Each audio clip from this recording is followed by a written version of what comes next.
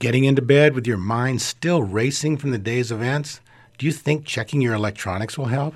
This is Health Matters, a service of Sharon Hospital. Not a good idea. The National Sleep Foundation says using electronic devices before bedtime can be physiologically and psychologically stimulating in ways that can adversely affect your sleep.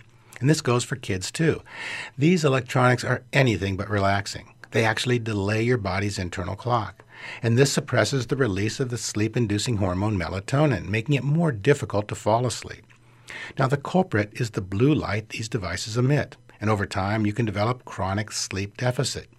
Consider giving electronics a timeout somewhere between an hour to a half hour before bed. And if you're still tossing around, well, the old fashioned book, read by lamplight, is a good choice. I'm Dr. Zellman, reminding you that your health matters.